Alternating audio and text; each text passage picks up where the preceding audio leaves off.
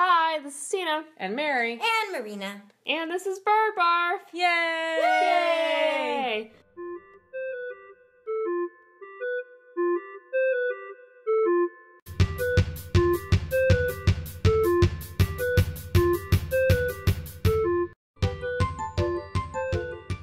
So today, what we're going to talk about, because they just came out with the announcement that they're going to make a Dun, dun, rem- dun. yeah, a remake of The Exorcist. Another remake. Yay! Everything's a remake. yeah, those always. That's actually a series. Everything's a remake.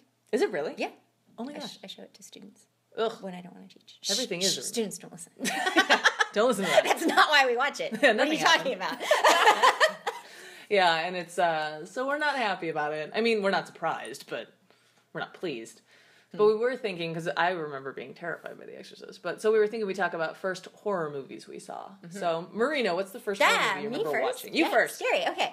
Um, Pet Sematary uh, is probably the first one I saw. I must have been kindergarten, if not even that's a little really bit young. earlier than that. Well, I had all these little pet shop things, and I remember Pet Sematary because I renamed all my cat Littlest Pet Shop characters Church after the zombie cat, and I was instantly the creepiest kid in the neighborhood, and the rest of my life is history, you know. So that's just how it goes. That explains a lot, actually. I know. So, and now I've come full circle because I was going around my classroom this semester asking kids what their favorite movies were, and the first person I talked to was like, "I love cats, and Pet Sematary is my favorite movie," and so I felt like, oh, my life makes sense. spirit. exactly.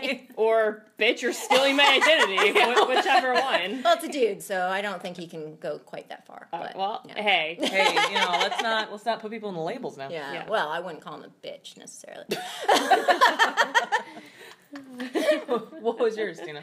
Um, so the first movie that I remember, I don't remember my childhood, so something we probably haven't talked about on this podcast. Oh, that's true, yeah, she remembers Yeah, I don't remember my childhood, so the details on this are vague. But when I was a kid, at some point, I was you know younger than I am now. I watched uh, The Exorcist with my cousins in my basement.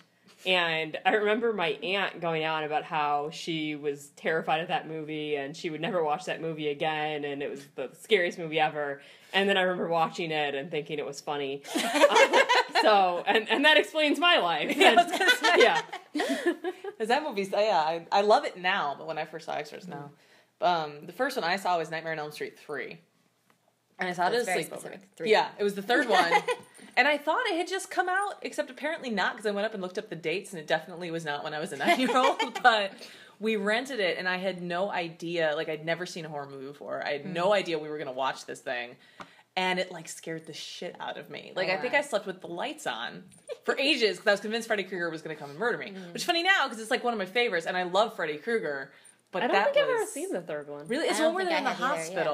Hospital, No, I have No. not. and it's that. called because it's Dream Warriors because Why haven't I um, watched that? Nancy comes back Oh, no. from the first one, and she's fighting him. Interesting. It's really good. Like now, it's really good. But when I was a kid, I was like afraid of runner rugs because he turns into a rug and eats somebody. it's the one where he pulls the girl up into Oh, the no. TV and goes, "Welcome to primetime, bitch," and then slams her face through the TV. I see. I know I've seen that that, clip. but It's But amazing. not- yeah. Oh, okay. It's good. maybe I have it. seen it. I don't know. I feel like Yeah. living with you, I would have had to have seen it at You some must have at some point. Yeah. Hmm. We're big Freddy Krueger Alright. fans. Yes. Freddy versus Jason. Yay! Hey, do you like the Nightmare on Elm Street movies? I do, I do, but there needs to be more cats, you know, like you know, zombie cats. And I was gonna say, then like- I can get on the. Yeah. Hey, but Nightmare on in uh. Freddy versus Jason, there's the he turns into a cat for a little bit when they're in a drug induced. No, he turns into an, uh, the caterpillar thing. Oh, well, it's Cat, like a cat caterpillar. head, same thing. Yeah, Yeah, that's true. It kind of looks like it looks like a cat to me. yeah, the Wonderland. Yeah, Nonsense. Mm. yeah, Yeah, cat caterpillar. it's a thing. same thing. so, yeah. Yeah. Yeah, So Yeah. those are the first horror movies we remember. Um, for the two of you who listen, let us know what yours your first horror movies were.